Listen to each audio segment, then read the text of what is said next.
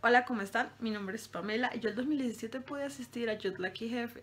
Em, bueno, en, este evento yo conocí a otros jóvenes increíbles con iniciativas demasiado buenas. Em, aprendí más de cerca lo que significaba la gobernanza y la importancia de que nosotros los jóvenes también tengamos que ver en este, este tema.